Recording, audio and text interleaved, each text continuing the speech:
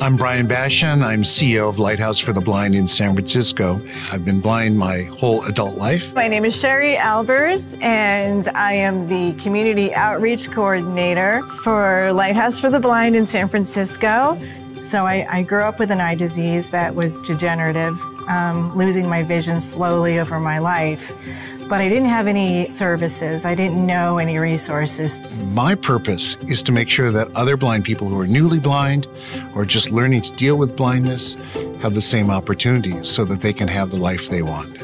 We do face discrimination. We face low expectations from society, even within our own families. We will not put up with the prejudices and passivity of the past. We want to bring into a future where every human being, no matter what their level of eyesight, is cherished, and every human being has a chance to reach their potential.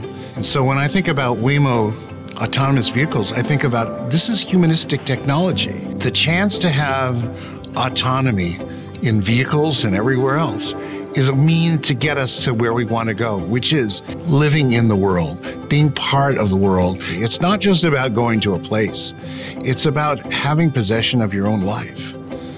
And this is what ultimately, in the highest aspect of technology, it serves human beings and human needs. It's approaching. It's slowly appro- Oh, Bryan, this is it. My gosh, this is it. It's beautiful. Are you ready to start the ride? I think I'm ready. Here we go. Okay. Wow, you know, it started with a good It, it did. It did. No hesitation at all. Like it was confident. Uh huh. The thousands of people who are connected to Lighthouse have a common need, which is autonomy. Go where they want, when they want, with as little inconvenience to others as possible. This is exactly a tool for that. The ability to just go anywhere.